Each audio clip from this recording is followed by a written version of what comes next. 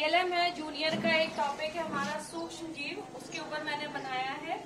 ये जो केक का बेस बचता है ये उसके ऊपर बनाया है सिंपल सा चार्ट पेपर बना के। तो ये है। ऐसे ही बनाना हर जगह तो सीधा ही है। तो इसमें हम बच्चों को बता सकते हैं कि सूक्ष्म जीवों के कितने प्रकार होते हैं? पाँच प्रकार। तो हमारे सूक्ष्म जीव के पाँच प्रकार है। वो हम इस डायग्राम इसमें जो बने हुए हैं, उसके हिसाब से बता सकते हैं। जैसे हमने पहले, पहला जो सूक्ष्म जीव होता है, वो हमारा होता है जीवाणु। और जीवाणु कितने प्रकार के होते हैं, हमने चित्र के माध्यम से उनको इसमें बताया, इसमें नाम नहीं लिखा है। हम केवल चित्र बनाया और नाम बताएँगे, बच्चे उसको पहचानेंगे।